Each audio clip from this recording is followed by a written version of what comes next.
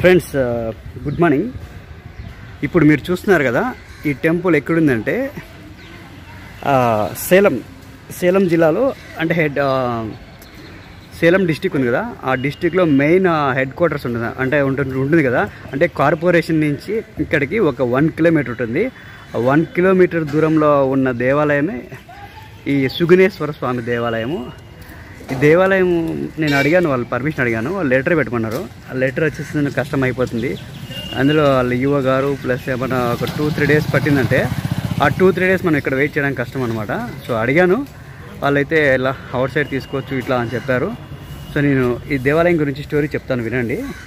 So ఇది first of all ఇది ఆలయానికి సంబంధించినటువంటి కోనేరు ఇది. దేవాలయానికి ఎగ్జాక్ట్గా ఆపోజిట్ ఉంది దేవాలయము. ఏమంటే ఈశ్వరుడు ఈ సుగినేశ్వర స్వామి దేవాలయం అంటే ఈ దీంట్లో ఈశ్వరుడు ఉంటాడు అనమాట ఈ దేవాలయంలో. ఆయనకి అభిషేకానికి కానీ తర్వాత దేనికైనా సరే కార్యక్రమాలకు వాడడానికి ఈ కోనేరులో వాటర్ వాడతారంట. మీరు చూడొచ్చు చేపలు కనబడుతున్నాయి ఇక్కడ. సో బ్లాక్ ఫిషెస్ కనపడుతున్నాయి.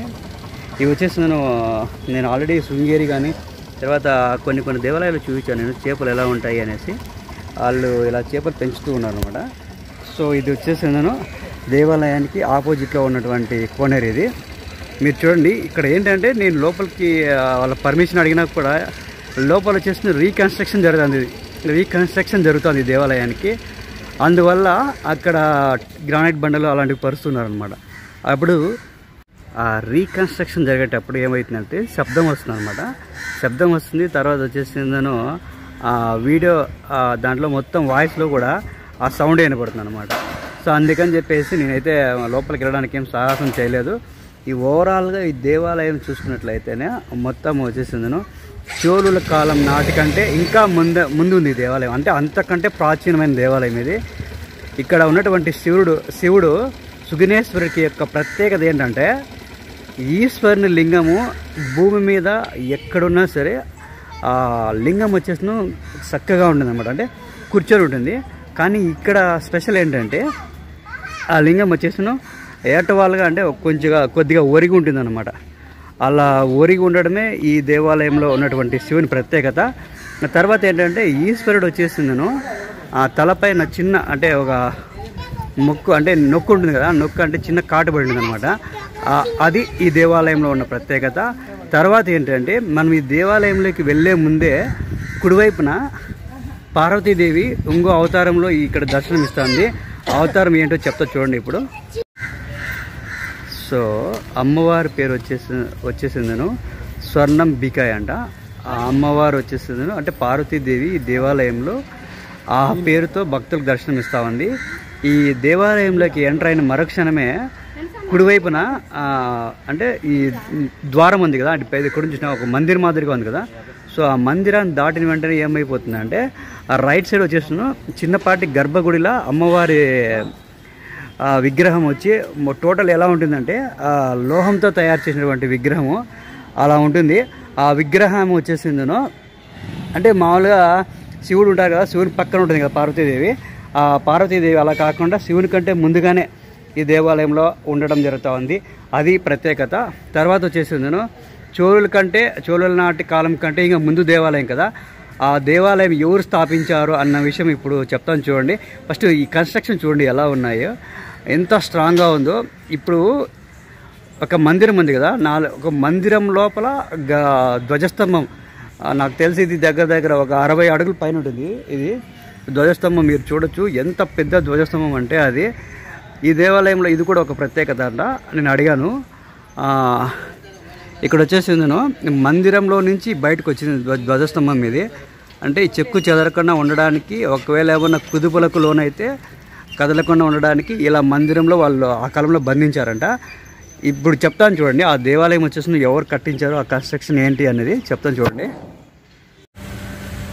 ఫ్రెండ్స్ ఈ దేవాలయాన్ని పద్మూడవ శతాబ్దంలో మామన్ పాండియన్ అనే ఒక రాజవంశస్థుడు ఈ దేవాలయాన్ని కట్టడం జరిగింది. అంటే ఆ కాలంలో కట్టాడంట.